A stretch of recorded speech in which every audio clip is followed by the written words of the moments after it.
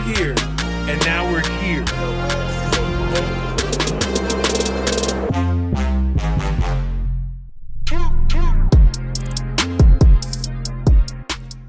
What up, y'all? This is Dru, and in this video, I'm specifically talking to my producers that use Omnisphere. If you're considering using Omnisphere, or if you once used Omnisphere, you may or might not have heard that you can use Omnisphere's full library completely dry. What I mean by that is you can use all their sounds in Omnisphere all 64 gigs of sounds without any effects, without any reverbs, without any delays, without any echo or distortion, without any chorus or saturation. You can do whatever you want to these sounds completely dry. Me personally, I find it annoying and a little bit of a time killer if I'm looking for a sound real quick and I have to go into the effects page and turn all the effects off or uh, modify the effects to my liking. So I would prefer to have those effects completely dry and then add my own reverbs, delays, saturation, so on and so forth. So basically, we're gonna get into it. What I have here right now, I, um, I'll be working at Ableton and I'm going to open up an instance of Omnisphere and show you producers out there that use Omnisphere how to get directly to the dry sounds within Omnisphere. So here we go. All right, so right now, obviously, like I said, I'm in Ableton and I'm gonna open up Omnisphere real quick. All right. So if you're familiar with Omnisphere at all, if you click on, I'll click on one of these sounds. Um, Big Nasty, see what that is.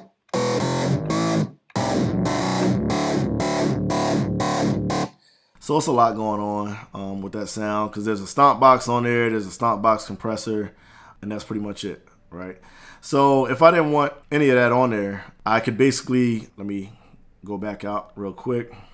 I'm just gonna show y'all the difference between one of the sounds that are affected and then one of the sounds that are not affected. So I'm gonna reopen Omnisphere. It's the basic sawtooth wave that you get when you first open up Omnisphere. So the first thing I'm gonna do is go down to the pages here. So as you can see, there's orb, there's main, there's uh, A, B, C, D effects, there's arpeggiation, the arpeggiator.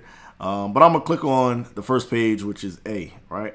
So right around the middle of the screen, you can see right here I have an oscillator and uh, I'm gonna click on the sample tab underneath oscillator and then click on the empty bank window right here.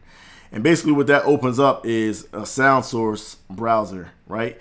This is a directory of sounds for all the sounds that are actually in Omnisphere, all the samples that are in Omnisphere. So it's separated by category, type, source, which is which is all pretty standard, which is all pretty simple and basic, right? So to the right, bottom right hand corner, we got the whole sound library down here. And you can search them, say if I wanted a piano, right? Search, and these are piano sounds, burning piano.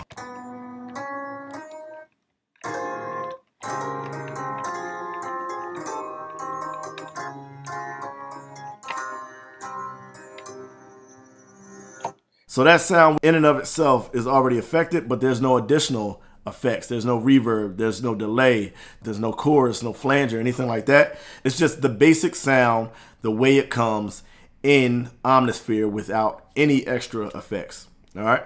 Um, personally, I prefer that because, like I said, for that because, like I said, I prefer to do my own sounds. I prefer to do my own effects. I prefer to modify and change it and make it sound unique to the way I like it.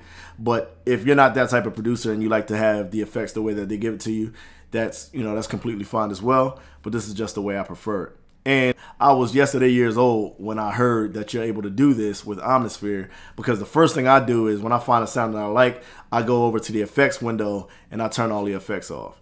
Um, and this is definitely a time saver for me because I don't have to turn any of the effects off. They're already dry. And really, they're kind of like one shots because as soon as I let go of the key, it completely stops.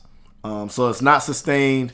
It's no, there's no effects, and I prefer it like that in most cases when it comes to um, to making making my beats. So basically, that's that's pretty much it. This was a quick video. I wanted to be in and out and really show y'all this gem able to find I figured I found this gem that you're able to use Omnisphere sounds completely dry. So hopefully if you're a producer that found this video helpful, make sure you leave a comment in the comment section. Let me know what you liked, what you didn't like.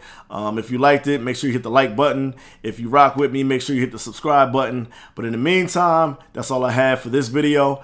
Make sure you check in for future videos. But if this is something that you like to see and you like more of, just make sure you like, share, and subscribe. Until next time, I'm Dru. Peace.